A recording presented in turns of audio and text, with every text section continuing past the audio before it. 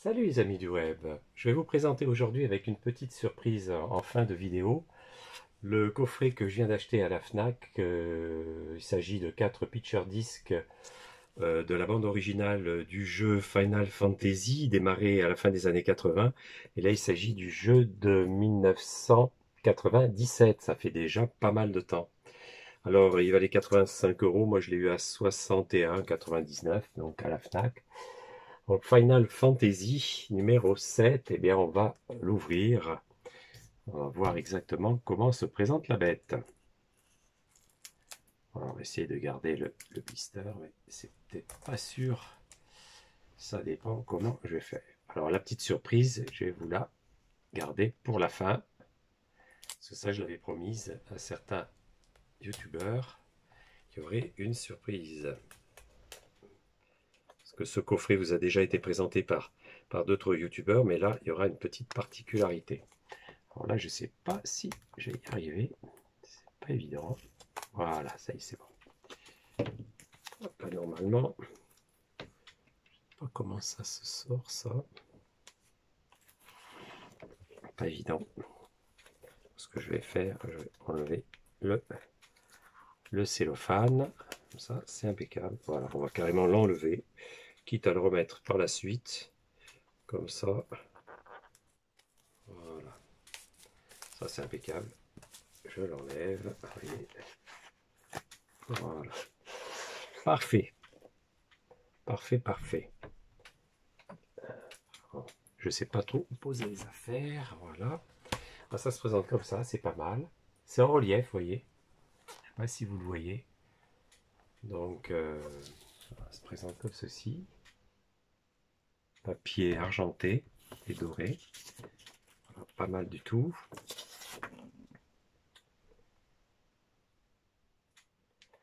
à l'intérieur, c'est comme ceci. Donc deux picture disques. deux picture disques. Pas mal du tout. Hein. Très joli. Et on a euh, une petite feuille noire. Voilà, comme ça feuillet, ma foi. Alors on a évidemment les scores, le score ici, ah, si vous arrivez à voir. Et donc les disques se présentent de cette façon. Voilà. Voici le premier. Premier disque.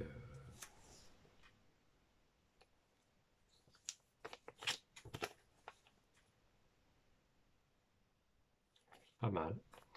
Évidemment, il y aura certainement un certain souffle sur le disque, mais enfin, euh, ça valait le coup d'avoir cette, cette édition qui était, que j'avais commandée avant le confinement, et puis pendant le confinement, il a tenu des prix faramineux, puis de toute façon, Amazon et Fnac m'avaient annulé les commandes, et puis apparemment, il a été de nouveau disponible. Voilà. Donc, deux disques. Alors la petite surprise, c'est euh, ma fille, euh, je lui avais commandé ce dessin qui est assez doué en art et en dessin de manga, et elle m'a dessiné euh, sans, calque, hein. donc à main levée, hein, si, vous, voulez, elle m'a même imaginé, un petit peu en s'inspirant de modèles existants, du héros de Final Fantasy. Voilà, donc voyez les détails, hein, c'est c'est assez euh, stupéfiant ce qu'elle arrive à faire. Je vais vous montrer un autre dessin qu'elle a fait. Ça, elle avait recopié, mais à la main. Pareil, sans calque. Et elle a même euh, rajouté les chaussures, parce que dans le dessin original, les, jambes s'arrêtaient ici. Elle a reimaginé euh, le, le dessin. Je crois que je vais sortir carrément du cadre pour vous montrer un petit peu ce qu'elle a fait. Voilà, comme ça. On mieux. On mieux un petit peu. Voilà, comme ça. Pas mal du tout. Je trouve. Et aussi, elle m'a fait, euh, à l'occasion de, de l'achat par moi cet été de, de toutes les BO de Chucky, Elle a écouté les disques que je vous avais présentés de chez Waxwork Records, donc les BO de, Chucky. Il y en avait donc deux. Et à cette occasion-là, elle m'a fait des dessins aussi. Vous voyez, des dessins. Des dessins originaux, hein, sans calque, comme ça, à main levée. Voilà. de toute façon, elle, se dirige vers une école d'art, hein, bien sûr. Euh, elle a que 15 ans. Hein. Elle va avoir 16 ans, mais elle est encore au lycée. Mais en préparation d'une école d'art, vous voyez. Donc, euh, pas mal du tout. Elle les a déjà montrés sur, euh, sur internet et elle a eu pas mal de succès. C'est voilà.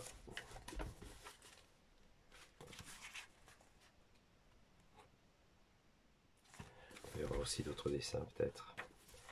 Ce qu'elle avait dessiné. Bon ça ça n'a rien à voir. Hein. Ça n'a rien à voir. Vous voyez ce qu'elle dessine un petit peu.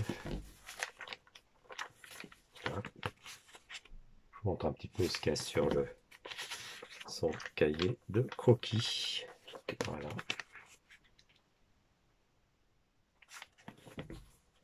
c'est depuis l'âge de 10 ans qu'elle dessine comme ça. On a pas mal de, pas mal de dessins.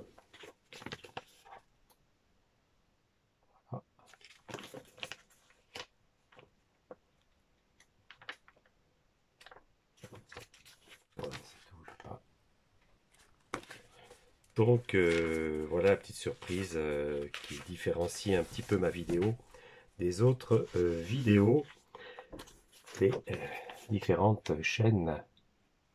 Voilà. Donc ça je vous remontre un petit peu son dessin, son croquis. Que je vais laisser d'ailleurs dans, le, coffret. Ironie du sort, il y, a une, feuille noire et justement je me demande si je vais pas coller. Voyez le dessin sur euh, la feuille noire pour un petit peu immortaliser, le laisser à l'intérieur du coffret. Voilà, ça aurait été sympa de nous faire un insert avec quelque chose comme ça par exemple. Bon apparemment non. Parce que en picture disque, vous voyez là, ce sont quand même que des, photos. Hein. Donc comme je vous explique, le picture disque, qu'est-ce que c'est? C'est une, euh, galette en, PVC noir, hein. donc euh, une galette en, PVC noir, sur laquelle on applique euh, des deux côtés un genre de plastique comme ça, un plastique comme ceci, un plastique comme cela au dos, peut-être plus transparent, un petit peu plus transparent, un peu comme les, pochettes des, euh, des disques que je vous présente, comme celle-ci. Voilà, c'est plutôt un genre de plastique comme ça, vous voyez. Je, vais d'ailleurs vous le montrer, on fait comme ça.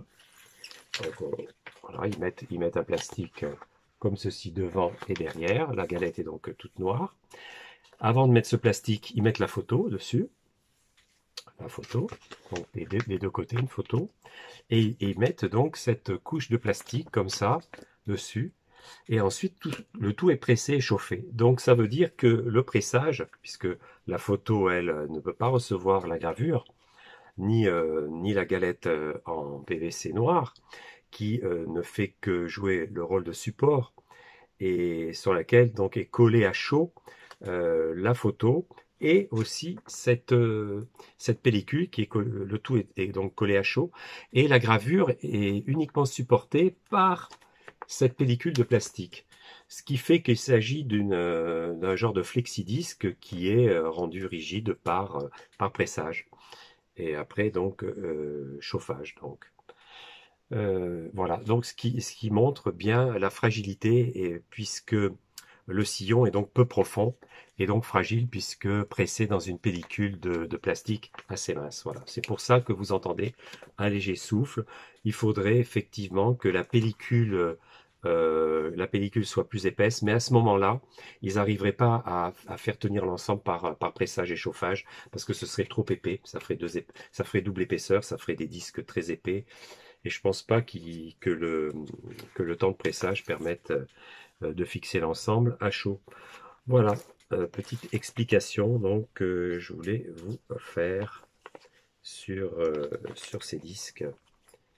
Voilà. Donc c'est pour ça que le pitcher y a toujours euh, un léger souffle que vous entendrez toujours, même si ça s'est bien bien amélioré. Voilà. Donc c'est plutôt une œuvre, une œuvre d'art collector que pour ça que les vrais amateurs préféreront euh, deux vinyles noirs à ces euh, vinyles Picture disc, mais qui sont quand même magnifiques et qui seront bientôt évidemment étant en édition limitée. Je ne sais pas si le coffret est numéroté, apparemment non. Bon, c'est une édition, c'est la deuxième édition, ça c'est l'édition européenne. L'édition américaine n'a pas été abandonnée, mais était insuffisante pour couvrir la demande européenne. Donc ça c'est sorti pendant le Covid. Et euh, par contre, l'édition européenne est sortie euh, cet été, donc après le Covid. Voilà, pour la petite histoire, euh, c'est tout ce que je pouvais vous dire. Bon, ça dure que 10 minutes, c'est impeccable. Voilà ce que je pouvais vous dire sur Final Fantasy et ma fille qui m'a récupéré d'ailleurs les BO de Chucky. Et en fait, j'avais acheté le coffret pour lui faire plaisir et que je vais lui offrir. Voilà, puisqu'elle va faire ce dessin en retour. Voilà, et eh bien n'hésitez pas à vous abonner, à liker la vidéo et à laisser vos commentaires, hein, comme d'habitude.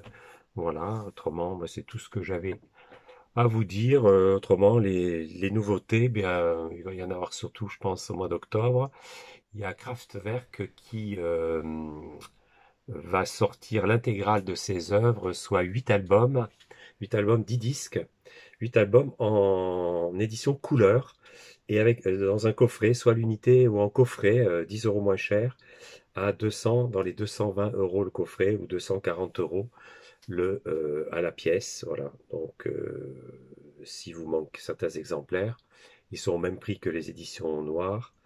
Et la petite histoire aussi, c'est que sur les sites allemands, en Allemagne, c'est moins cher, hein, bien moins cher, parce que on a une différence entre 10 et 15 euros de moins euh, pour les disques de Kraftwerk plus que euh, sur euh, les sites anglais ou français, notamment Amazon ou même la Fnac. Donc ils sont quand même nettement moins chers. Ensuite, il y a Oasis qui va sortir une réédition de leur deuxième album que je dois avoir ici. Enfin bon, ils vont sortir une édition donc c'est l'album de 1995 si mes souvenirs sont bons. Ils vont sortir euh, une édition vinyle silver, argenté, et aussi euh, on peut choisir d'acheter en même temps euh, le, pitcher, le double pitcher disque. Donc on se retrouve avec quatre disques, enfin, en, fait en double. Mais bon, c'est assez, assez cher quand même parce que l'ensemble avec les frais de port, ça doit mettre dans les 50-60 euros. Il y a aussi Ultravox qui a sorti un coffret Vienna pour le 40e anniversaire, dont je vous présenterai l'édition simple, double vinyle parce que l'édition, pareil, avec un live de plus que j'avais plus ou moins déjà sur d'autres versions de Vienna. Donc avec des versions live, euh, bon, ça mettait le, coffret à 65 livres, plus les frais de port, ça doit faire dans les 80-85 livres, enfin 100 euros. Bon, c'est un petit peu idiot, quoi. Alors que pour 20 euros, on peut avoir l'édition double album avec tous les inédits. Euh, dessus, euh, il y a juste le live qui peut manquer. Moi, j'avais déjà ce live plus ou moins sur d'autres versions qui était sorti auparavant. Donc je vous présenterai ceci. Et voilà, donc euh, j'ai fini de, aussi de, passer le gel sur certains disques. Vous voyez, c'est pas encore fini. Euh, et ce sont des disques euh, pas originaux, mais des années 50 de Gershwin, qui appartenait à mon père. Et donc je vous présenterai sa collection. Et là, je suis en train de les nettoyer. J'en ai au moins 5, je crois. J'en ai sous la main. Là, ils sont encore voyez, le gel est encore euh, tout mou. je ne sais pas si ça se voit, il n'est pas encore sec. Et je l'ai fait ce matin. Donc c'est en train de sécher, vous voyez là. Là, on peut passer le, doigt. Par contre, ici, vous voyez, je vais vous faire une petite marque, vous voyez ici. Le gel n'est pas, encore pris, mais ça n'a pas d'importance. Voilà. Par contre, là, le séchage a pris. Il me reste encore la deuxième face à faire, vous voyez, que j'ai pas faite encore. Voilà. Donc il me reste encore la seconde face à faire. Donc il y aura du Gershwin et aussi du jazz, des disques de jazz de mon père. Euh, donc en tout, il doit y avoir 7, 7 euh, disques, parce qu'à l'époque c'était très cher, comme maintenant 75 euh, euros le disque. Hein. C'était ah oui, ah oui c'était vraiment très très très très cher. On achetait un disque vraiment une fois, une fois par an. dans les années 50, c'était vraiment pas tout le monde. En plus, ce sont des micro-sillons, hein, c'est vraiment les premiers. Je crois que ça doit dater des années 1955, ça, quand il était jeune, hein, très jeune, quand il faisait ses études. Voilà. c'est tout ce que j'avais à vous dire. Autrement, pour le, point pour les questions, euh, sans faire une FAQ, qu'est-ce que de mémoire, qu'est-ce qu'on m'avait dit? Ouais, montrer mon matériel. Bon, mais ça, faudra que je fasse une vidéo dessus. Là, j'ai un petit peu réorganisé justement la présentation de, de ma chaîne euh, dans une armoire où j'ai mis toutes les bandes originales de films. Et donc, j'ai pu dégager un rayon pour bien classer après les, les BO.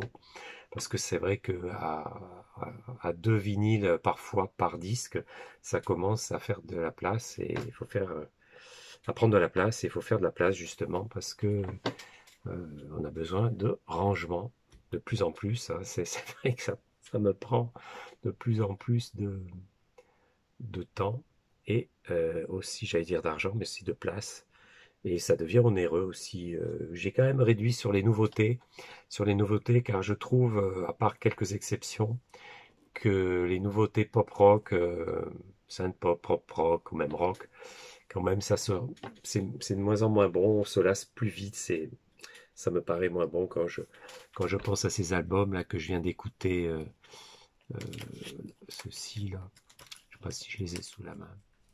Euh, ouais, celui-ci, celui-ci et celui-ci. Je viens de les, de les nettoyer. Là, je vous les avais présentés chez, euh, chez euh, ça vient de chez Record 7.d. Le John Waits de, Fisher Z, de janvier 83, Iceberg. Ensuite de 82, Ambient the Dance, c'était Power qui, je me souviens plus comment il s'appelle. fameux Power, un producteur. Le chanteur, c'est un producteur qui a pratiquement produit tous les groupes qui existaient à l'époque. Donc Ambient the Dance, Artage de 82, excellent, excellent, excellent. J'ai nettoyé aussi celui-ci, qui n'a pas besoin d'être nettoyé puisqu'il était scellé. Hitman de 81 aussi. Vraiment excellent, excellent. Donc euh, c'était donc euh, Done Together. Vraiment excellent ces trois disques. J'ai vraiment pas été déçu du tout, du tout. Voilà, bah écoutez, euh, je vous souhaite bonne continuation, pardon, et bon visionnage. Salut, à bientôt.